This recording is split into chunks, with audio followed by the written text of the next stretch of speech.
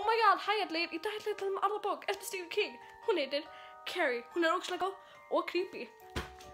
Þetta er actually fyrsta bókin sem Stephen King skrifaði. What? Þau byggja til mynd úr af þessari bók. What? Allavega, bókin er um stelpu sem getur bara hrift hluti með huganum sínum. Dag einn ákvæði krakkan í skólanum hennar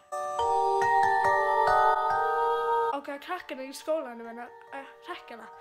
Á ásáttíðinni hellaði dýrablóð yfir hana og hlæja bara af henni. Þá var Kerry komið nóg. Já, já. Hún byrjaði að nota máttbyssun og drepa alla og hún brendi næstu alla borgina við. Það er skiljanlegt af hverju hún hagaði þessu svona. Hún var bara komið nóg við söllu.